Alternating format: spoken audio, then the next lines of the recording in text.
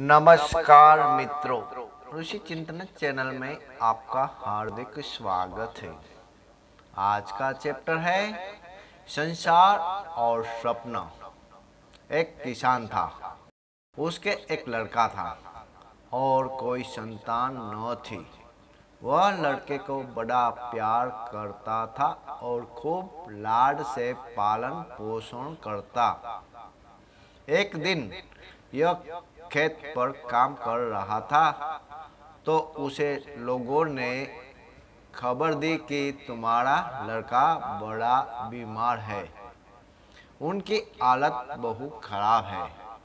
किसान घर पर पहुँचा तो देखा लड़का मर चुका है।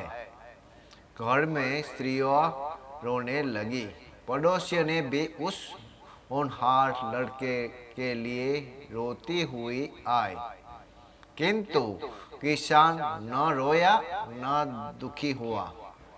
वह शांत चित्त से उसके अंतिम संस्कार की व्यवस्था करने लगा।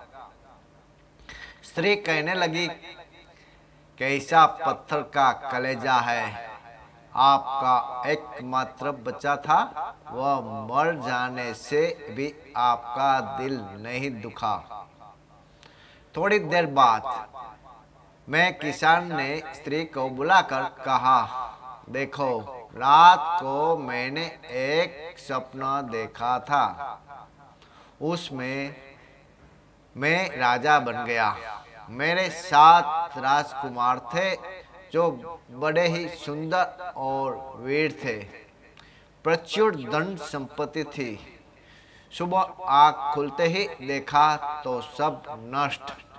अब तुम ही बताओ कि उन सात पुत्र के लिए रो या उसके लिए यह कहते हुए अपनी स्त्री को भी समझाया।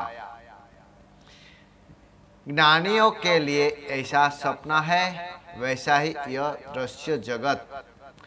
यह भी सपनावत है, यह जानकर ज्ञानी लोग उसके हानि लाभ से प्रभावित नहीं होते और अपनी सदा एक रस, सत्य नित्य रहने वाले आत्मा स्थिर, में स्थिर रहते हैं। अखंड ज्योति, अप्रैल उन्नीस सौ बासठ। जय गुरुदेव जय गुरुदेव जय गुरुदेव।